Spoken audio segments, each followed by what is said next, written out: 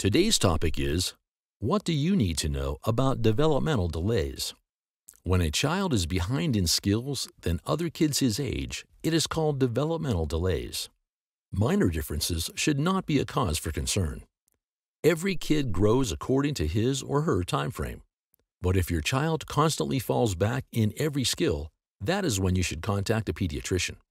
Developmental delays are caused by a short-lived issue, such as speech delay could be the reason for hearing loss from an ear infection. Signs and symptoms.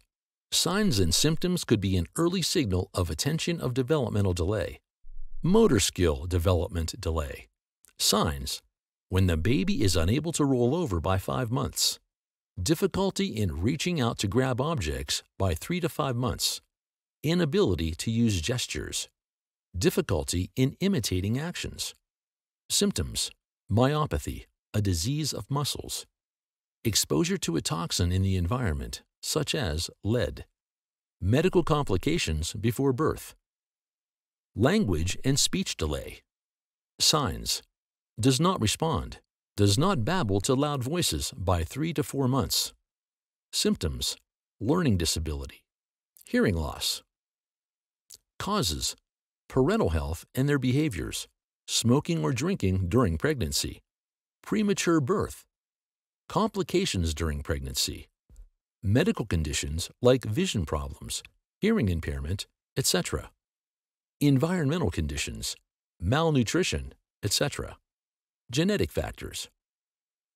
Developmental delays can also be caused by other medical conditions, such as fatal alcoholic spectrum disorders, myopathies, genetic syndrome, Down syndrome, Fragile X syndrome, Landau-Kleffner syndrome, cerebral palsy, autism spectrum disorder.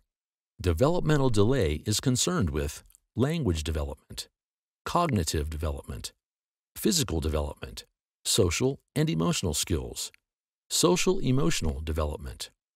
Treatments Developmental screening. Seek help from an occupational therapist, pediatric neurologist, psychologist, speech therapist. Medication can also be prescribed by the doctor after examining your child. Helpful key points Nurturing environment a good parent-child bond. Allow them to make decisions. Good nutritional diet. Encourage them to accept responsibility. Avoid hitting or anger. Read to them to help with their vocabulary. Adequate sleep.